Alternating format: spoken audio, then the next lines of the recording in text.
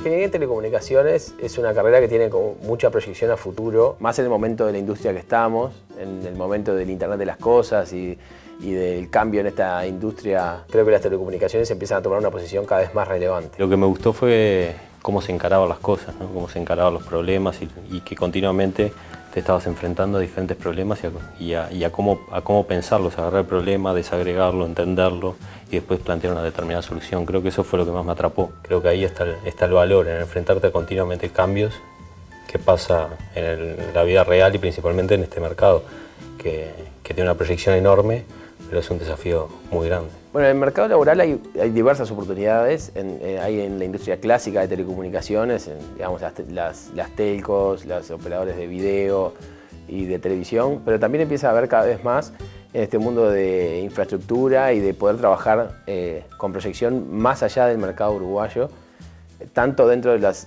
empresas que hay hoy como eh, las empresas que puedan crearse o hacerse entre profesionales para empezar a brindar servicios al exterior. El mercado es amplio, la posibilidad es, muy grande, pero creo que la carrera en sí lo que te brinda son herramientas para luego poner en práctica y no tecnologías. No te enseña de tecnologías, sino te enseña herramientas de cómo pensar, generar capacidades de razonamiento, como para luego poner en práctica en tu trabajo.